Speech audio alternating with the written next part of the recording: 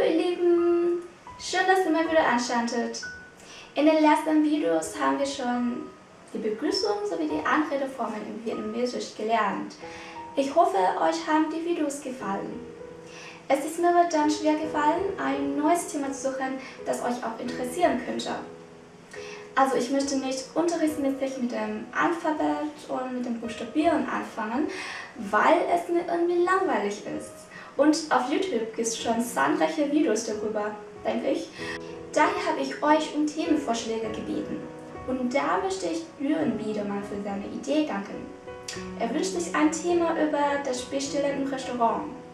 Ja, also ich denke für Leute, die bald ihren Urlaub in Vietnam verbringen würden, wäre dies ein ganz praktisches Thema. In diesem Video werde ich euch einige einfache Ausdrücke beibringen, die man beim Bestellen im Restaurant in Vietnam verwenden kann. Aber bevor wir das machen, würde ich euch erstmal erklären, was man in Vietnam unter Restaurant versteht. Und am Ende des Videos werden wir lernen, die Namen typischer vietnamesischer Speisen auszusprechen. Klingt interessant? Dann fangen wir an. Essen gehen in Vietnam ist nicht gleich Essen gehen in Deutschland. Die Restaurantauswahl reicht vom feinen Lokal bis zu kleinen Garküchen am Straßenrand. Vietnamesen lieben es, auf der Straße zu essen. Oder man kann auch sagen, Garküche gehört zur vietnamesischen Kultur. Das sind einfache mobile Ständer oder Wegen, die oft direkt am Straßenrand aufgebaut werden. Man erkennt sie meist nur an ein paar winzige Tische und Stühlchen an einer Straßenecke. Eine kleine Tafel zeigt an, was es gibt. Das Essen da ist unheimlich lecker und preisgünstig. Deswegen vermisse ich unser Streetfood wirklich, wenn ich in Deutschland bin. Wer beim Essen lieber ein Dach über den Kopf hat, kann stattdessen in ein Nudellokal gehen. Das heißt Guan Pho. Guan Pho. Oder ein einfaches Speiselokal wie Guan Cơm. Guan Cơm. Oder man nennt auch Cơm Bình Auch sie werden mit einer Angebotstafel, die Lunchland und äh, Speisekarte zugleich ist. Im Dân gibt es preiswerte Reisgerichte mit Beilagen wie Fleisch, Gemüse, Eierspeisen und so weiter. Diese sind in Vitrinen ausgestellt, sodass man nicht den Namen jeder Speise kennen muss.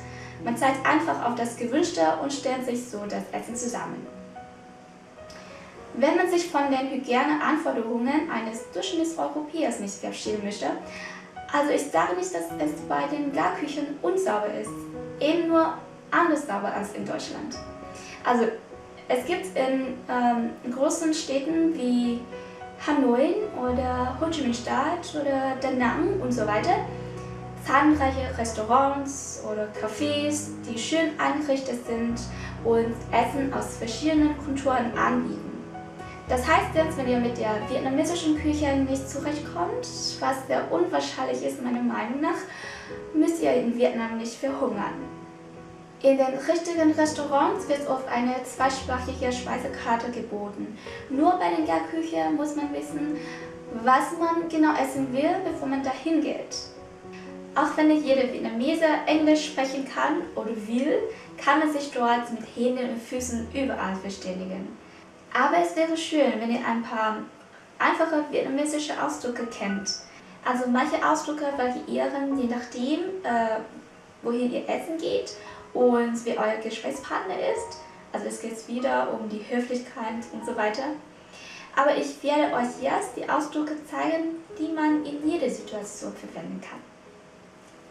Zum Beispiel, wenn ihr in ein Restaurant geht und möchtet die Speisekarte haben, dann könnt ihr so sagen Làm ơn cho tôi xin tờ thực đơn Làm ơn cho tôi xin tờ thực đơn Làm ơn cho tôi xin tờ thực đơn Ich möchte bitte die Speisekarte.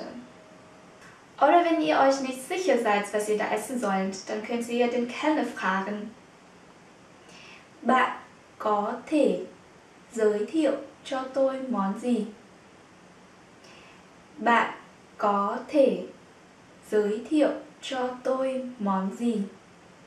Bạn có thể giới thiệu cho tôi món gì? Was können Sie empfehlen?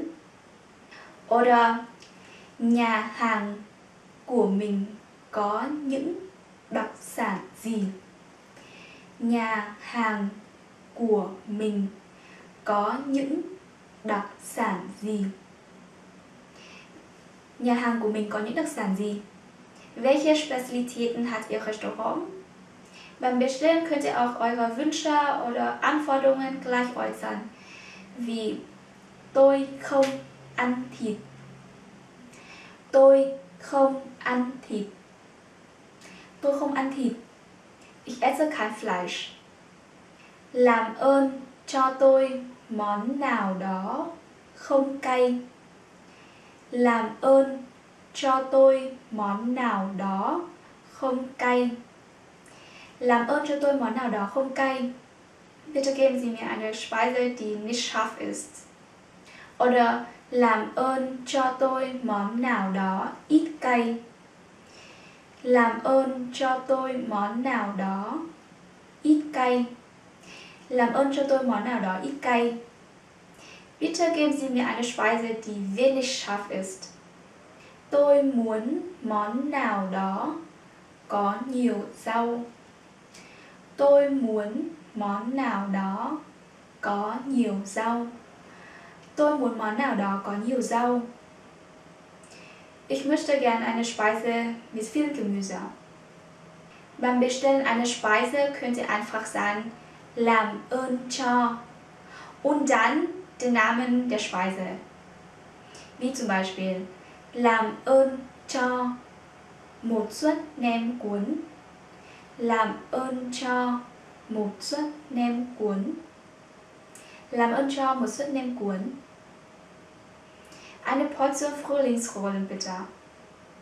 Oder làm ơn cho một chai bia. Làm ơn cho một chai bia. Làm ơn cho một chai bia. Eine Flasche Bier bitte.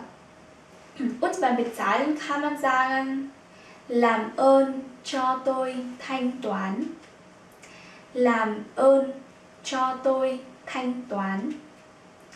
Làm ơn cho tôi thanh toán. Ich möchte bezahlen bitte. Die vietnamesische Küche ist so vielfältig.